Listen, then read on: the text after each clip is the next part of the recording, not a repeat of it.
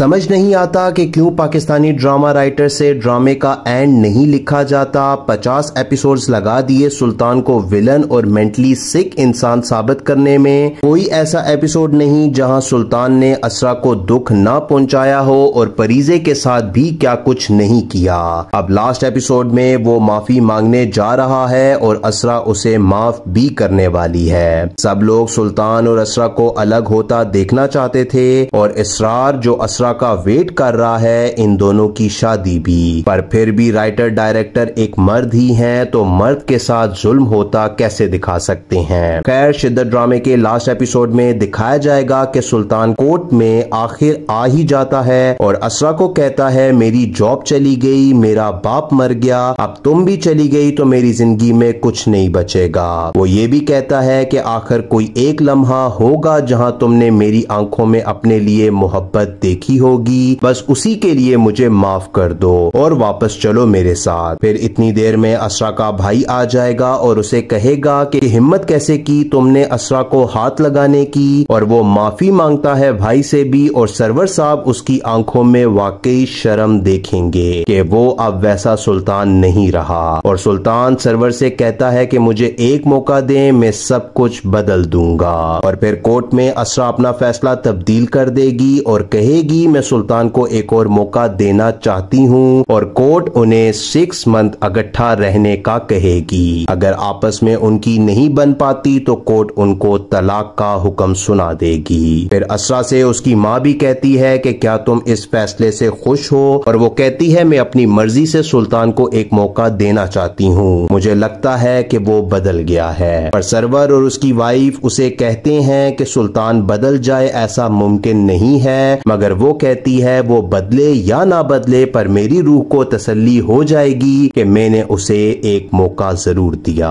اور پھر سے سلطان اسرا ایک ہو جائیں گے۔ نوفل پریزے کا کیا بنا اور اسرار کے اوپر کیا گزری وہ کچھ بھی نہیں بتایا جائے گا۔ اور ادھر ہی بے تکا سا اینڈ سلطان ڈرامے کا کر دیا جائے گا۔ خیر مزید ڈراموں کے ریویوز دیکھنے کے لیے ہمارا چینل فالو کرنا نہ بھولیں۔